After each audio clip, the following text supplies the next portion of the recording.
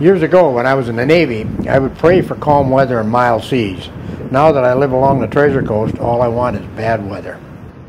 Thursday through Tuesday, hazardous sporting and dangerous surf conditions are expected into the upcoming weekend as winds and seas increase from high pressure strengthening along the eastern seaboard. A prolonged period of rough and high surf could lead to minor to moderate beach erosion and minor coastal flooding, especially during times of high tide from Thursday through Sunday.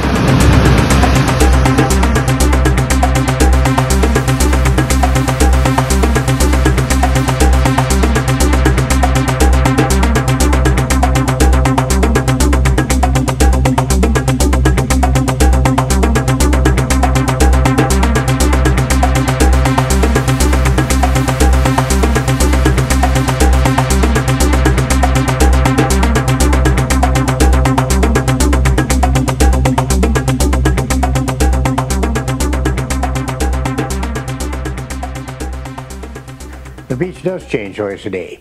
You know, with the waves coming in and, you know, the winds, you know, depending on which direction they come, that every tide, every high tide, when that tide leaves, you know, the beach changes. Here's an example. You know, you look at the beach there, it's just cut, you know, the, it's cut down, you know, and even the stairs are hanging up there and, and nowhere. Uh, three or four days later, this is what it looks like. All that sand's come back in. Look at those stairways. Look at how much sand that that ocean has moved in that short period of time. And I used to really think that the key time to be out there was at low tide. And now I'm beginning to believe it, you should be there quite a bit before low tide and follow that tide down before a chance the, the waves have got a chance to drop all that, that extra sand and covering up what we're looking for. What we're looking at now is what I call a rip tide or a bowl. It, you know, it's formed by rip tides. And what's happened is the waves washes out, back out to sea. It creates a current and it's bringing, dragging that sand out with it. And it's washing it down to where we get down to where the original sand is. And that's where you're going to find the good stuff. You know, one of the things you should look for too when you're out there, when you get to a, you know, look up and down the beach, look for that low area. When you see a low area, head for that. Carry your detector. I mean, don't waste your time walking down to the low area. When you get to the low area, detect. But if you see the black sand, it actually looks like oil is washing or something like that, that's a good area. That's, you know, stop and work that and work that slowly because that's where your stuff is going to be hiding. But you should have a good detector when you're in that black sand because that's highly mineralized. So when you work that, go slow, very slow. You notice when I talked about black sand earlier, I'm right into black sand and right up against the cut. And that's where I found that first real. At, uh, and then later, as I got about mid-beach down there, I found a small gold ring. And as I got to the water's edge, I found that second uh, real. So it, what I guess I'm trying to say is don't get locked into any one particular thing. There's several things that can happen out there. You just look for the clues and try to put them together.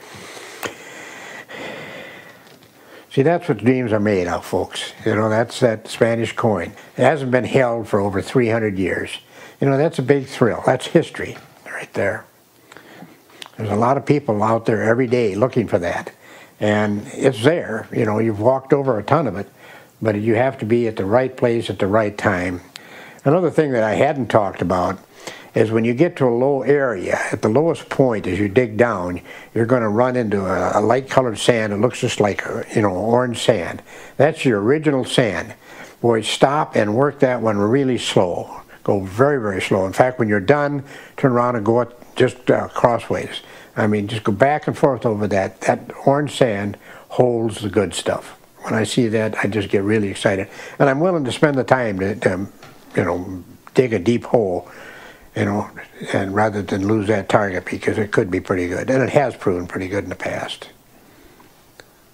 When you're down into that original sand and you dig down and you get these sinkers, uh, if the sinker is a whitish color, that means it's been down there a long time. And when you find these heavy wedge sinkers, work that area very slow. That's where the gold is. Gold is very heavy. Sinkers, the lead is very heavy. When you're into that area, uh, you know, stay there. Take your time. You know, that's where you're you're going to be pleasantly surprised. When you start finding light aluminum, and light pennies, and that stuff, you you know, chances are of finding something good are really remote. It's possible, but it's remote. There's a good example of uh, black sand. See, the, you know, I'm into a bowl-like area. I'm down to the original. You can see the orange sand. You know, that's the original sand. Look at the black sand that is also there too. That's really mineralized. And you need a good detector to be able to pick up those deep targets. And you can see I'm right at the edge of the water. As the waves come in, it's filling that hole. And so it makes recovery very, very difficult. But, you know, that's what you have to do. You know, work those hard to get at areas. And you're detecting where other people never, never ventured. You know.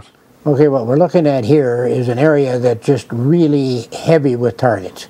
It, uh, as you went along, every once in a while you'll find an area that just loaded. And when you get to that, slow down. As you look at the picture here, most of the targets are in the middle of the beach. They're not up high, they're not down by the water, they're right in the middle. You know, it's just actually a corridor going right along. Everything is dropped right in that area. You know, just grid it off, up and down, go slow. Make sure when, when you're walking, you know, that, that your coil goes right up to your footprints on the other one, so you're almost kind of doubling it. And then when you're done, when you've totally cleaned it out, then do a 180 and go back and forth over the same thing that you've been, and you're going to be amazed at how much stuff you're going to find that you missed on that first time. You know, I used to think I was pretty thorough, but it's amazing how much I'll find on that second trip through. Well, folks, there's always a level of luck involved when you're out there searching for treasure. But if you do your best and you put the odds in your favor, you're limiting that luck, chances of being successful are so much greater.